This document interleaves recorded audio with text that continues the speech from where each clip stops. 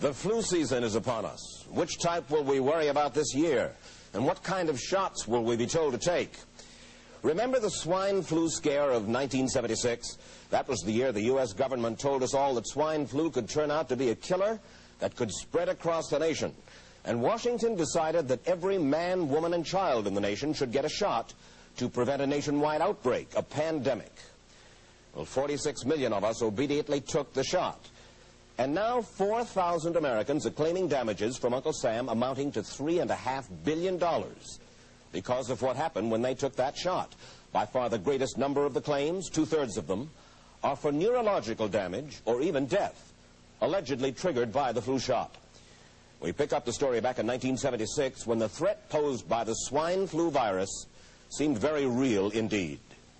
This virus was the cause of a pandemic in 1918 and 1919 that resulted in over half a million deaths in the United States, as well as 20 million deaths around the world. See how easy it is to... Thus, the U.S. government's publicity machine was cranked into action to urge all America to protect itself against the swine flu menace. Influenza is serious business. During major flu epidemics, millions of people are sick and thousands die. Well, this year you can get protection. The vaccines are safe, easy to take, and they can protect you against flu. So roll up your sleeve. Protect yourself. One of those who did roll up her sleeve was Judy Roberts. She was perfectly healthy, an active woman, when in November of 1976, she took her shot. Two weeks later, she says, she began to feel a numbness starting up her legs. I joked about it at that time. I said I'll be numb to the knees by Friday if this keeps up. By the following week, I was totally paralyzed. So completely paralyzed, in fact, that they had to operate on her to enable her to breathe. And for six months, Judy Roberts was a quadriplegic. The diagnosis?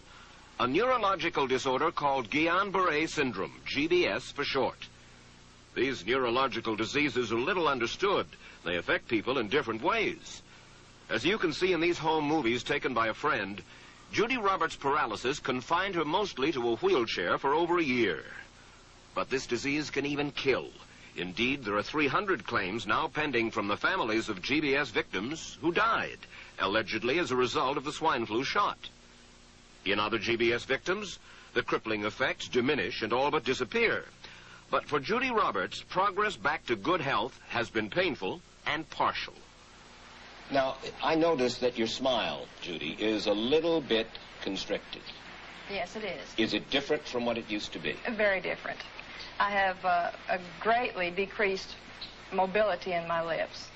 And uh, I can't drink through a straw on the right-hand side. I can't blow out birthday candles. Uh, I don't whistle anymore, for which my husband is grateful. It may be a little difficult for you to answer this question, but have you recovered as much as you are going to recover? Yes. This, this is it. So you will now have a legacy of braces on your legs for the rest of your life? Yes. The weakness in my hands will stay, and the leg braces will stay. So Judy Roberts and her husband have filed a claim against the U.S. government. They're asking $12 million, though they don't expect to get nearly that much. Judy, why did you take the flu shot? I'd never taken any other flu shots, but I felt like this was going to be a major epidemic. And the only way to prevent a major epidemic of a, a really deadly variety of flu was for everybody to be immunized. Where did this so-called deadly variety of flu, where did it first hit back in 1976? It began right here at Fort Dix in New Jersey in January of that year when a number of recruits began to complain of respiratory ailments, something like the common cold. An Army doctor here sent samples of their throat cultures to the New Jersey Public Health Lab to find out just what kind of bug was going around here. One of those samples was from a Private David Lewis who had left his sickbed to go on a forced march. Private Lewis had collapsed on that march, and his sergeant had revived him by mouth-to-mouth -mouth resuscitation. But the sergeant showed no signs of illness. A few days later, Private Lewis died if this disease is so potentially fatal that it's going to kill a young, healthy man, a middle-aged schoolteacher doesn't have prayer. The New Jersey lab identified most of those soldiers' throat cultures as the normal kind of flu virus going around that year, but they could not make out what kind of virus was in the culture from the dead soldier and from four others who were sick. So they sent those cultures to the Federal Center for Disease Control in Atlanta, Georgia for further study. A few days later, they got the verdict swine flu.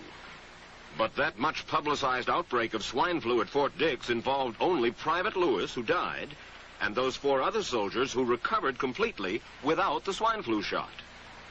If I had known at that time that the boy had been in a sick bed, got up, went out on a forced march, and then collapsed and died, I would never have taken the shot.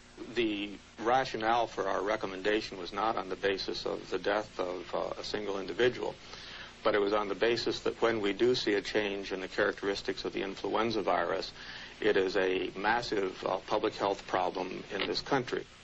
Dr. David Sencer, then head of the CDC, the Center for Disease Control in Atlanta, is now in private industry. He devised the swine flu program, and he pushed it.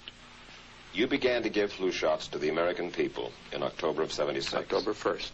By that time, how many cases of swine flu around the world had been reported? There had been uh, several reported, but none confirmed. There had been cases in uh, uh, Australia that were reported by the press, uh, by the news media. There were cases in... uh, None confirmed. Did you ever uncover any other outbreaks of swine flu anywhere in the world? No. Now, nearly everyone was to receive the shot in a public health facility where a doctor might not be present. Therefore, it was up to the CDC to come up with some kind of official consent form, giving the public all the information it needed about the swine flu shot. This form stated that the swine flu vaccine had been tested. What it didn't say was that after those tests were completed, the scientists developed another vaccine. And that was the one given to most of the 46 million who took the shot.